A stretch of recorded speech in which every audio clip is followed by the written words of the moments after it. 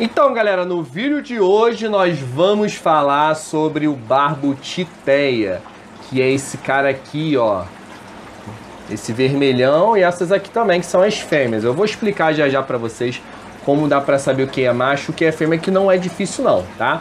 E antes, eu quero dizer pra vocês que agora, quando eu tiver o peixe no quadro Tudo Sobre alguma espécie, eu vou mostrar dentro dos meus aquários, eu acho que fica mais dinâmico, fica mais bonito também, a galera interage mais também, e eu consigo também mostrar melhor para vocês, não só passando em imagens, né? Então posso mostrar em tempo real, por exemplo, aqui, essa fêmeazinha aqui, bem barrigudinha, né? Então fica um negócio mais interessante. Quando eu tiver o peixe, é claro. Se eu não tiver, infelizmente ainda vou continuar nas imagens. Ou se eu tiver numa loja, eu posso fazer diretamente na loja, tá? Se vocês estão gostando da ideia, já deixa o like, deixa nos comentários também se vocês estão curtindo essa ideia aí de mostrar o peixe ao vivo aqui, né, no vídeo porque acho que fica um negócio mais legal, mais divertido também. Até para me poder gravar, me sinto mais, sinto mais prazer de poder mostrar o peixe que eu já tenho e falar um pouquinho dele para vocês. Então vamos lá, galera, vamos falar sobre esse peixe aqui que é a coisa mais linda que tem no aquarismo. Ó. Essa daqui é uma fêmea, essa da cadê? Cadê? Tava por aqui, sumiu aqui.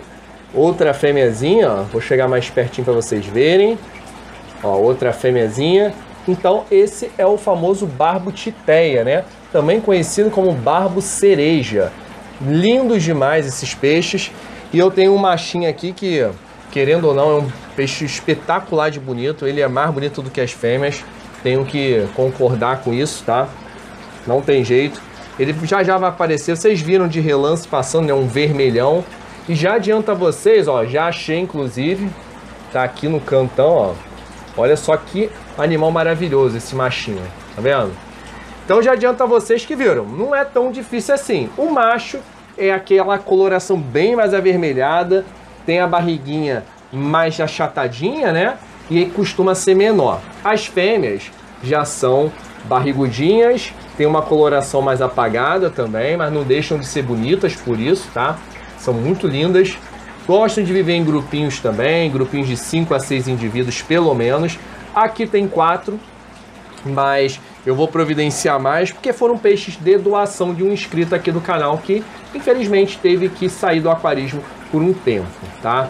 Então, de qualquer forma, assim que eu tiver oportunidade, vou comprar mais uns dois exemplares pelo menos para poder ficar um grupinho bacana ou se me der na telha eu até trago mais de três, quatro. Eu achei esse peixe fantástico de bonito. Olha esse macho aqui, galera.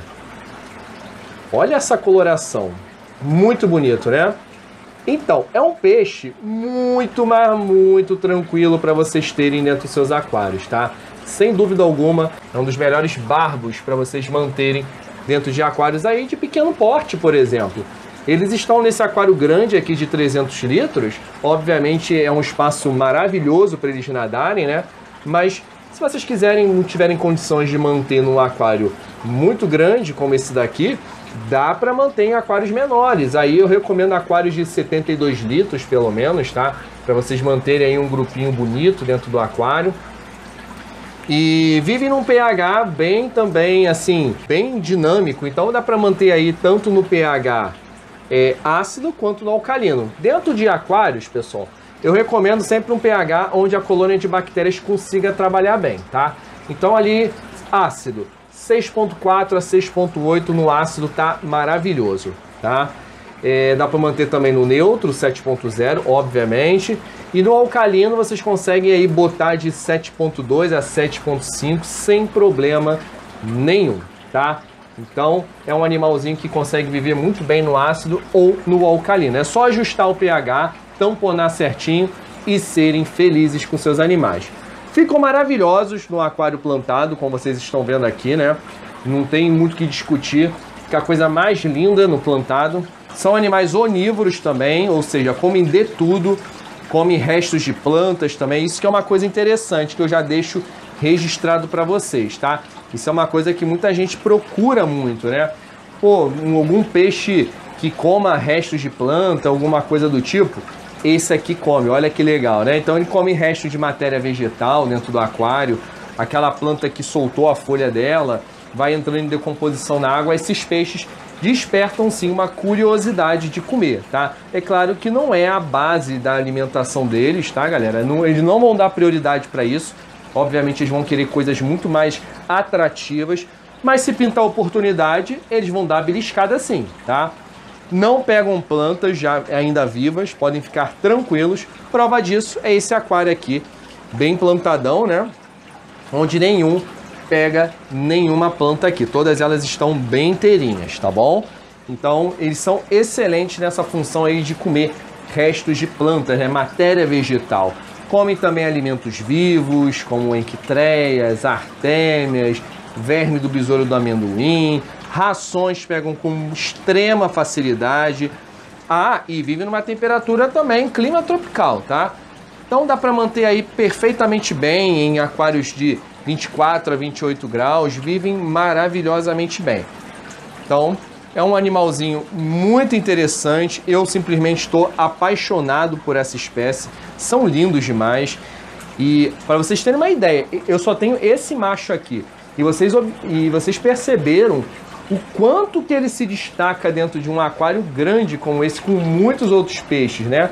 Até um aquário assim, dando uma distância, quando, quando ele aparecer aqui, vocês vão ver que ele vai se sobressair. A fêmea também, as fêmeas conseguem ter um destaque aqui, aqui, estão vendo?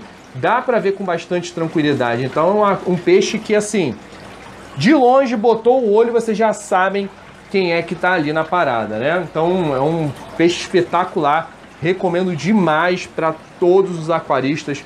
Não é um peixe difícil, tá, galera? É só seguir direitinho os parâmetros corretos do animal e vocês vão ter muito, mas muito sucesso com eles, tá? Olha isso aqui, coisinha linda. Agora dá pra ver mais pertinho, ó. É porque eles são bem ativos, mas dá pra ver bem, né?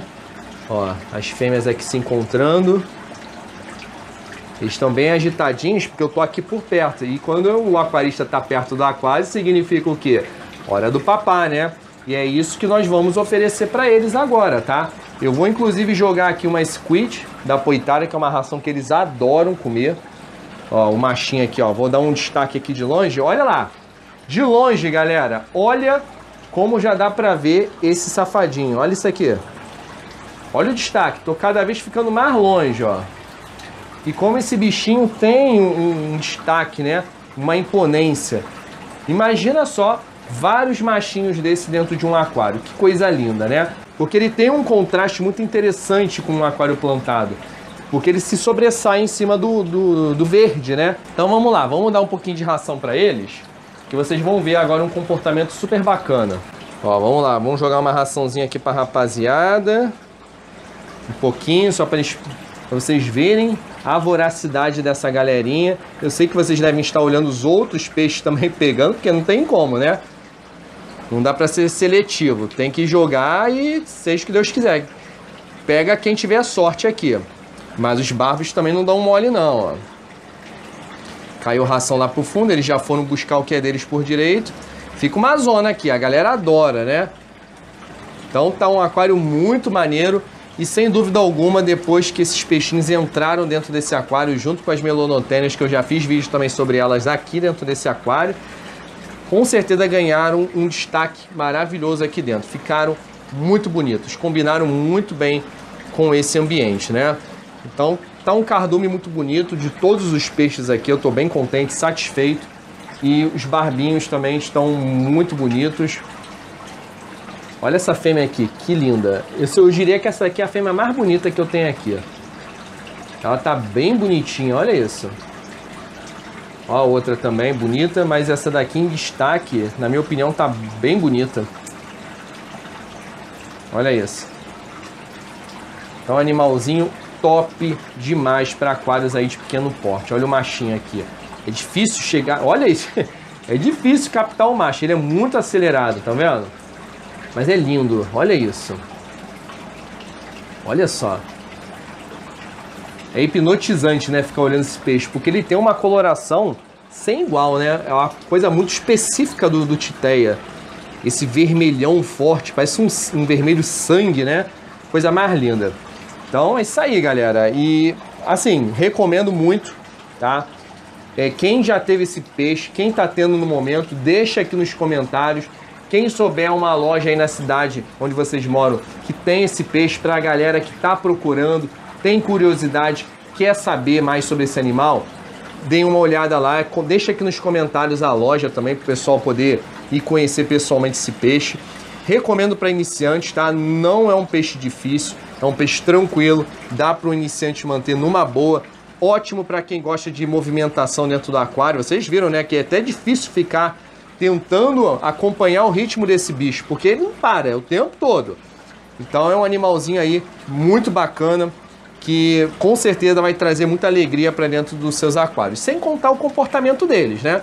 Vocês estão vendo aqui que está num aquário comunitário e estão vivendo aí, ó, muito bem, zero brigas, ninguém bate ninguém, tá todo mundo vivendo em perfeita harmonia. E é isso que a gente sempre busca dentro de um aquário, né, galera? Sempre a mais completa harmonia.